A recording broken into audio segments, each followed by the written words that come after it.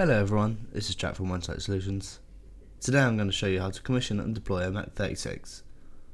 We recently have had quite a few queries come into our support team requesting assistance on how to commission a Mac36. And as you may or may not already know, the Mac36 requires certain core modules to be able to initiate the startup of the device's operating system and will not allow for commissioning if these are missing. You do not have to do this for every ISMA device, but for the Mac36 the core files are necessary. We also have a wide range of ISMA devices on our website for you to check out too.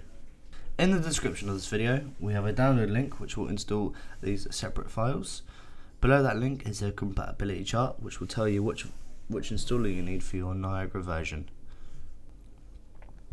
Once you have downloaded the file, you'll see this. Inside here is separate file installers in comparison to your Niagara version. So I'm using Niagara 412.2 so this will be the installer that I need. You simply just go into the installer. And you can run the application. I've, I've obviously already done it so I don't need to extract it. And this will automatically deploy the files and the disk files that you need for your ISMA device. If you're running an installer that is not supported to your build or the file installer was not successful then you have to manually deploy these files into certain locations of your Niagara directory, which I will show you now. The first set of files you want to copy or drag out are the modules. Simply copy or drag these three modules out of the downloads file and drop them into the modules folder of your respected version of Workbench, like so.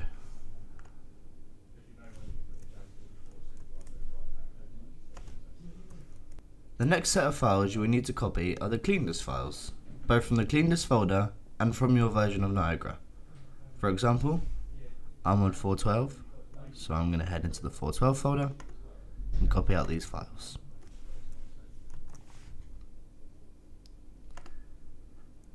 Then all you need to do is go to the same directory, your version of Niagara, go to clean dist, just drop them in there.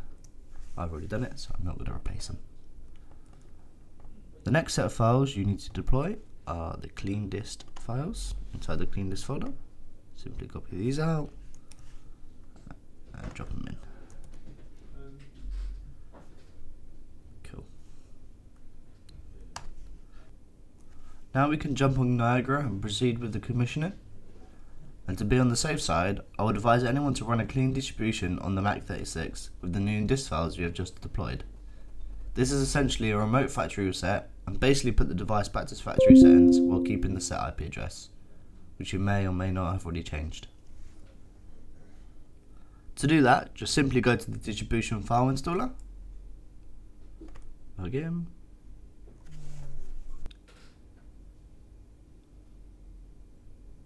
Once your distribution file installer has opened, you can simply go ahead and click on this dist file, the NRA Clean ISMA BMAC 36 v2.0.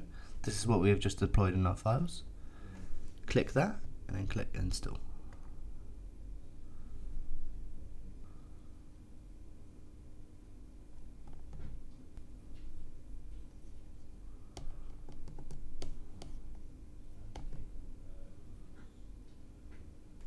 Once you have cleaned down the Mac 36, reconnect to the platform and go through the platform wizard.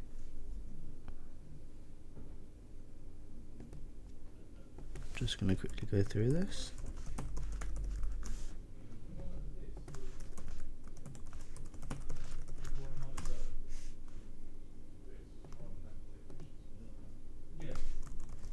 Give myself a username.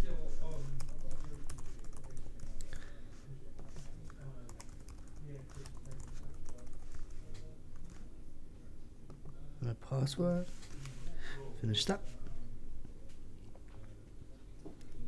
Once that is done, we can right click on the platform, go to commissioning wizard.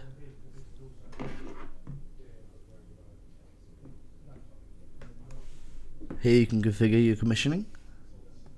So I don't need to add these. And your license manager runtime profiles,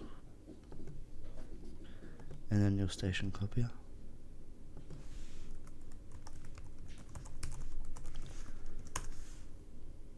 Copy every file.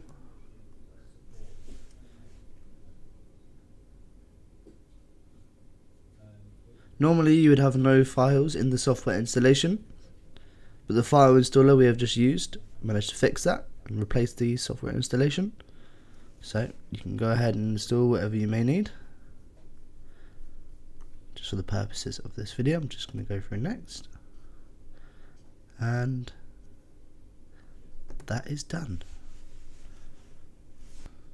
There we have it. Our Mac 36 is now going through our commissioning process. If you have any further questions or queries, please contact us at support at onesight.solutions. It will be in the description below. Thank you very much for watching. Any feedback on this video will be greatly appreciated and do not forget to like and subscribe.